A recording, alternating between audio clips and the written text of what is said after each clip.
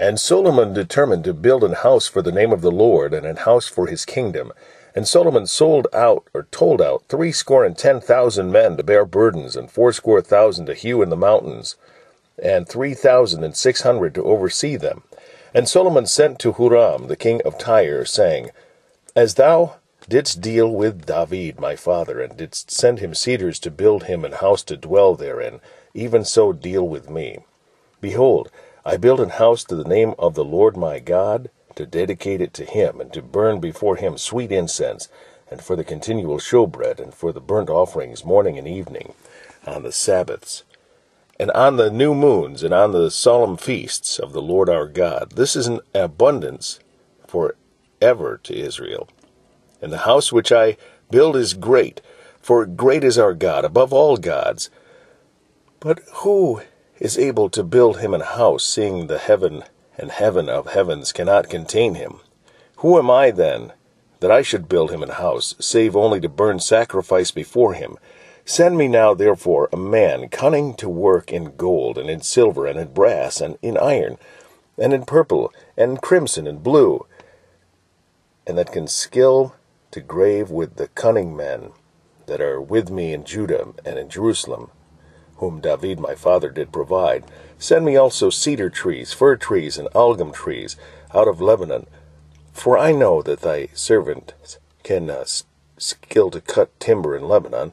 And behold, my servants shall be with thy servants, even to prepare me timber in abundance, for the house which I am about to build shall be wonderful great.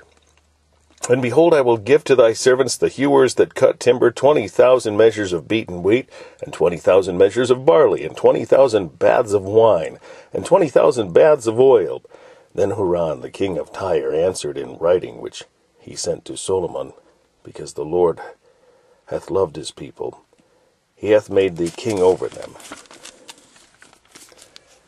Huram said, Moreover, blessed be the Lord God of Israel, that made heaven and earth, who hath given to David the king a wise son, endued with prudence and understanding, that might build an house for the Lord, and an house for his kingdom. And now I have set a cunning man, endued with understanding of Huram my fathers, the son of a woman of the daughters of Dan, and his father was a man of Tyre, skilful to work in gold, and in silver, and in brass, in iron, and stone, and in timber, in purple, and blue, and in fine linen, and crimson, also to grave any manner of gravings, and to find out every device which shall be put to him with thy cunning men, and with the cunning men of my lord David thy father. Now therefore, the wheat, and the barley, the oil, and the wine, which my lord hath spoken of, let him send unto his servants.